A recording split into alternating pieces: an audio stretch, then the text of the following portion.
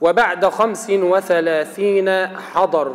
يعني من مولد النبي صلى الله عليه وسلم عندما بلغ النبي صلى الله عليه وسلم أتم 35 سنة حصل أن أهل مكة أرادوا بناء مكة بناء الكعبة واختلفوا في وضع الحجر الأسود في القصة المعروفة وكادوا يقتتلوا ثم أرى اتفقوا على أن يحكموا من يدخل عليهم فدخل عليهم النبي صلى الله عليه وسلم. قدر الله سبحانه وتعالى فرضوا بتحكيم النبي صلى الله عليه وسلم فأخذ الرداء وضع فيه الحجر وأمسك كل قبيلة من طرف ثم عندما يعني قربوه من عند من مكانه وضعه النبي صلى الله عليه وسلم بيده الشريف عليه الصلاة والسلام. ونال هذا الفضل عليه الصلاة والسلام. هذا قبل البعثة.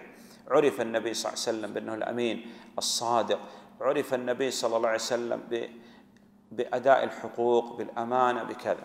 عرفوه وشهدوا له بهذا.